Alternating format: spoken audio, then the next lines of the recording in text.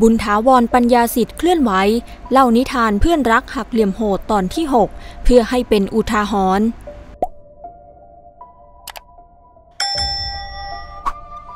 จากกรณีที่ก่อนหน้านี้นายบุญถาวรปัญญาสิทธิ์ ได้ออกมาประกาศยุติการเล่านิทานเพื่อนรักหักเหลี่ยมโหด ล่าสุดค่ะ เจ้าตัวก็ได้ออกมาเคลื่อนไหวเล่านิทานต่ออีกครั้ง โดยได้มีการโพสต์ข้อความผ่านทางเฟซบุ๊กส่วนตัว โดยระบุข้อความว่า นิทานตอนที่ 6 เพื่อนรักหักเหลี่ยมโหด ผมได้เล่านิทานเรื่องหนึ่งไปแล้วจำนวน 5 ตอน เหตุผลและความจำเป็นที่ผมจะเล่านิทานที่ผมแต่งขึ้น ให้พี่น้องประชาชนฟังต่อไปจนจบเรื่องทั้งหมดจำนวน 10 ตอนนั้น เพื่อให้เป็นอุทาหรณ์สอนใจ และเหตุการณ์สมมุติเรื่องหนึ่ง ซึ่งไม่ใช่เรื่องจริง หรือมีมูลความจริง ที่อาจเกิดขึ้นจริงในชีวิตจริงของคนหนึ่งคนใด และเป็นเพียงเรื่องสมมุติหรือเรื่องราวที่แต่งขึ้น ว่ามีคนบางคนอยู่หน้าประเทศแห่งหนึ่ง อันไกลแสนไกลทะเลโพ้น ที่เต็มไปด้วยการทุจริตคอร์รัปชัน ของนักการเมืองและเจ้าหน้าที่รัฐ นักกฎหมายและทนายความ พร้อมทั้งสื่อมวลชนที่เข้ามาพัวพันกับการเสียชีวิตของหญิงสาวคนหนึ่ง ที่เข้าไปเกี่ยวข้องกับนักธุรกิจที่เป็นลูกน้องของนักการเมืองชั่ว ได้บังอาจร่วมกันบิดเบือนความจริง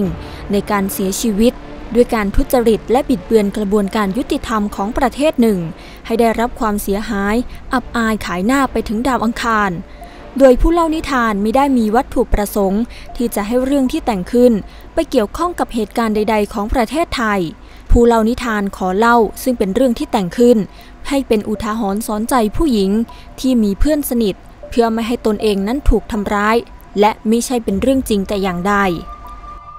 โดยได้เล่าว่า ณประเทศสาธารณรัฐแฮมเบอร์เกอร์ เป็นประเทศที่มีการปกครองเป็นรูปแบบสาธารณรัฐ ระบบรัฐสภา มีประธานาธิบดีชื่อแจ็คสเปโร่โดยมีประชากรประมาณ 50 ล้านคน ซึ่งแจ็คสเปโร่เป็นบุคคลที่มีความสามารถ และเป็นคนที่เข้มงวดในการบังคับใช้กฎหมายอย่างจริงจัง แต่ด้วยเหตุผลที่เพิ่งได้รับการเลือกตั้งเป็นประธานาธิบดีคนใหม่ของประเทศได้ไม่นาน จึงทำให้มีอุปสรรคมากมายในการบริหารประเทศ เนื่องจากกลุ่มอำนาจเก่าของนักการเมือง และนักธุรกิจกลุ่มเดิม ที่ยังคงครอบงำอำนาจรัฐ และธุรกิจของประเทศส่วนใหญ่ ที่ยังสามารถสั่งการให้ข้าราชการ นักกฎหมาย และสื่อมวลชน เสนอข่าวไปตามทิศทางของตนเอง และที่ยังมีอำนาจมากมายก่ายกองในประเทศ และเกิดความไม่พอใจการที่ประธานาธิบดีคนใหม่ มีนโยบายปราบปรามการทุจริต คอร์รัปชัน และมุ่งเน้นการปฏิรูปกระบวนการยุติธรรมของประเทศอย่างยิ่ง พร้อมกับวงเล็บด้วยนะคะว่า ผมจะไม่ขอไปใช้สิทธิ์วิพากษ์วิจารณ์ประเทศดังกล่าวมากมายนะครับ เมื่อความจริงปรากฏโดยชัดแจ้ง ว่านักแสดงสาวถูกเพื่อนสาวคนสนิท หลอกลวงมาให้พบกับชายสูงวัยคนหน้าเหลี่ยม และเป็นคนที่มากไปด้วยกามตัณหาราคะ และนำมาซึ่งความเจ็บปวดแสนสาหัส ที่ทำให้เกิดโศกนาฏกรรม และทำให้หญิงสาวตกอยู่ในชะตากรรมอันแสนโหดร้าย จากการกระทำของเพื่อนสาวคนสนิท และนำมาซึ่งความยุ่งยากของเสียคนดังที่เป็นนักธุรกิจ ที่มอบความไว้วางใจให้เพื่อนชายของเพื่อนสาวคนสนิทของนักแสดงสาว ให้จัดหาผู้หญิงหรือสาวงาม เพื่อมารับใช้หรือให้บริการความใคร่ของชายสูงวัย ซึ่งเป็นเจ้านายตัวเอง แต่เมื่อเรื่องราวที่เกิดขึ้นจากเหตุเป็นเพราะว่า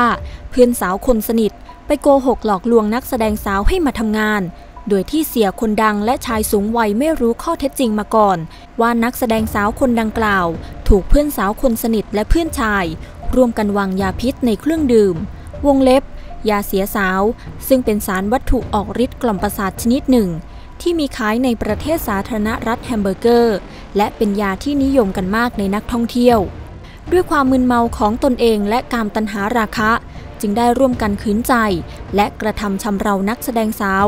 โดยสำคัญผิดว่า นักแสดงสาวยินยอมและมึนเมาและเต็มใจให้กระทำโดยมารู้ความจริงในภายหลังจากที่ร่วมกันกระทำการอันไม่ดีไม่ร้ายต่อผู้หญิงคนหนึ่ง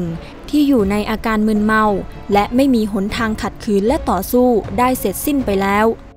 ภายหลังจากที่นักแสดงสาวมีสติและรับรู้ และเมื่อพิษยาหรือสารวัตถุออกฤทธิ์หมดพิษแล้ว ในขณะนั้นเสี่ยคนดังเกิดความวิตกกังวลและกลุ้มอกกลุ้มใจ และมีมโนสำนึก และความเกรงกลัวและความละอายต่อบาปอยู่บ้าง และเกิดจากความผิดเป็นอย่างมาก ที่ตนเองถูกลูกน้อง ซึ่งเป็นนักธุรกิจ และเพื่อนสาวคนสนิทของนักแสดงหลอกลวงตนเอง ประกอบกับมีคำสั่งเจ้านายชายวัยกลางคน ซึ่งเป็นบุคคลที่มีอิทธิพลของประเทศ แฮมเบอร์เกอร์ มีคำสั่งให้จัดการนักแสดงสาวปลิดชีพ หรือให้หายไปจากโลกนี้ หรือไม่ให้สามารถพูดได้ ซึ่งเป็นเรื่องที่เศร้ามาก เนื่องจากเสียคนดังเป็นมหาเศรษฐี วงเล็บ ขี้อวดร่ำขี้อวดรวย โดยตลอดระยะเวลาที่ผ่านมาในชีวิตและในงานสังคม เสียคนดังจะทำตัวเป็นคนเด่นและคนดัง ที่ทำอะไรเปิดเผย และชอบอวดความร่ำรวยของตนเอง ต่อพักพวก หรือบรรดากลุ่มนักธุรกิจด้วยกัน ในการจัดงานรื่นเริง แต่ละครั้งก็จะจ้างหญิงสาวหน้าตาดีที่เป็นดารา นักร้อง และนักแสดงมาโชว์ และให้หญิงสาวมาคอยบริการดูแลเอาใจใส่นักการเมือง และข้าราชการประจำสำนักงานประธานาธิบดีเป็นประจำ และโดยไม่เคยระมัดระวัง และต้องการให้เป็นข่าวดังในแวดวงสังคมมาโดยตลอด เนื่องจากทุกๆ ครั้งที่ผ่านมา หญิงสาวทุกคนเต็มใจมาบริการ และไม่เคยถูกหลอกลวงมาเหมือนกับนักแสดงสาวผู้น่าสงสารคนดังกล่าว ประกอบกับในคืนเกิดเหตุ มีกลุ่มนักท่องราตรีบังเอิญเห็นเหตุการณ์ดังกล่าวที่เกิดขึ้น ในบริเวณโรงแรม และเสียคนดังเข้าใจว่า อดีตข้าราชการคนหนึ่ง น่าจะมีการบันทึกภาพนิ่ง หรือภาพเคลื่อนไหวหรือวิดีโอของเหตุการณ์ดังกล่าวที่เกิดขึ้น จึงเกิดความวิตกกังวล และความกลัว และความลังเลในคำสั่งของเจ้านาย ที่สั่งให้จัดการนักแสดงสาวขึ้นทันที ในความเงียบสงัดและความเกรงกลัวต่อความผิด กับเหตุการณ์ที่เกิดขึ้นแบบไม่ได้ตั้งตัวมาก่อน จะคิดและวางแผนตามคำสั่งเจ้านายได้อย่างไร เนื่องจากเหตุการณ์กลับตลปัดและเกิดเหตุขึ้นอย่างรวดเร็วเพียงไม่กี่ชั่วโมง และไม่ทันได้ตั้งตัว ประกอบกับความมึนเมาทำให้เสียคนดังกังวลใจมาก คลุ่นคิดและเดินไปเดินมาภายในโกดัง ที่มีการจับและมัดร่างนักแสดงสาวไว้เป็นจำนวนหลายรอบจนทำให้ลูกน้องเกิดความรำคาญ เพราะว่าเสียพูดกลับไปกลับมาหลายรอบ เสมือนคนบ้าที่กำลังหาหนทางว่า จะแก้ไขปัญหาที่เกิดขึ้นอย่างไร เพื่อให้ตนเองและพวก ไม่ต้องมีความผิดต่อกฎหมายบ้านเมือง หากจะต้องลงมือทำให้นักแสดงสาวลาโลก เพื่อปิดปากมีให้มีโอกาสได้พูด และแฉความเลวร้ายของเพื่อนสาวคนสนิท อันเกิดจากความผิดพลาดของตนเอง เพื่อที่จะไม่ให้ไปถึงตัวเจ้านายชายสูงวัยคนหน้าเหลี่ยม ทันใดนั้น เสียงโทรศัพท์ของเสียก็ดังขึ้น ปลายทางที่พูดสายก็เป็นเสียงของเพื่อนสาวคนสนิทของนักแสดงสาว ได้โทรศัพท์เข้ามาสอบถามกับเสียคนดังกล่าวว่า เสียจะให้หนูทำอย่างไร และจะวางแผนแบบไหนดี เสียต้องรีบๆนะ พวกหนูก็เมาจนหายเมากันแล้ว หรือจะให้พวกหนูจัดการเอง เอาแบบไหนดี เสียคนดังก็ส่งเสียงร้องด่ากลับไปยังเพื่อนสาวคนสนิทว่ามึงไม่ต้องมาพูดมาก เงียบไปเลย กูกำลังคิด มึงมีแผนจัดการเพื่อนรักมึงหรือ ชีวิตกูเสียหายเพราะมึงนั่นแหละ มึงรู้ไหม ก่อนจะทำอะไรลงไป มันมีคนเห็นเหตุการณ์ และที่สำคัญ ไอประธานาธิบดีคนใหม่ มิสเตอร์แจ็คสเปโร่มันไม่ถูกกับกู และมันจ้องจะปราบพวกกูอยู่นะ งั้นเอางี้กูว่าพวกมึงช่วยกูคิดแผนการด้วยนะ นี่มันก็ดึกแล้ว เดี๋ยวสว่างยุ่งเลย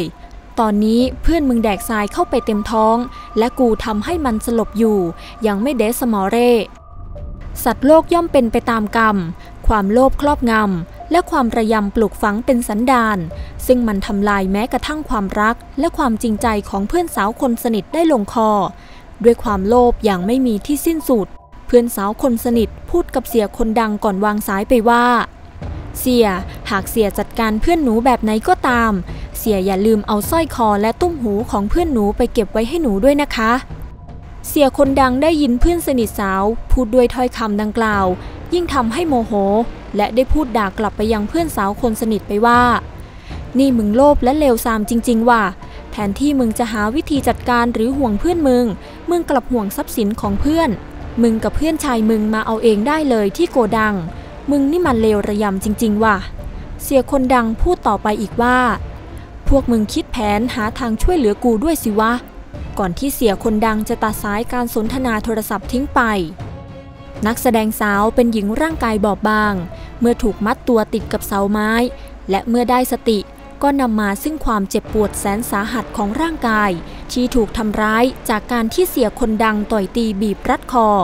และจากเหตุการณ์ที่ตกอยู่ในชะตากรรมอันแสนโหดร้าย และเมื่อตนได้สติก็พยายามสลัดที่ปิดปากออกได้สำเร็จ และในขณะที่เสียกำลังนั่งคุยอยู่กับลูกน้องคนสนิทอยู่นั้น นักแสดงสาวก็ได้หวีดร้อง และส่งเสียงดังขึ้นมาว่า ช่วยด้วย ช่วยด้วย อยู่เป็นเวลานาน เสียคนดังโมโหอย่างสุดขีด และควบคุมอารมณ์โกรธไม่ได้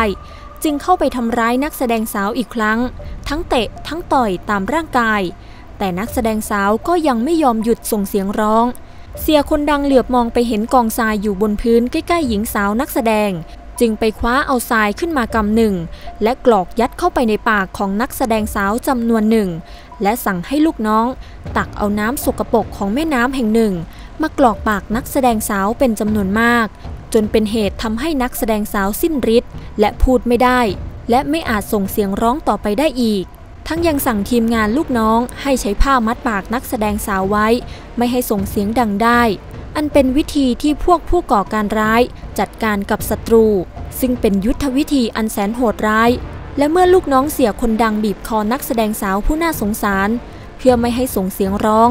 และต่อยที่บริเวณท้องหลายครั้ง จนทำให้นักแสดงสาวถึงกับสลบไปอีกชั่วขณะ และหยุดส่งเสียงไปเลยวงเล็บ น่าสงสารนะครับ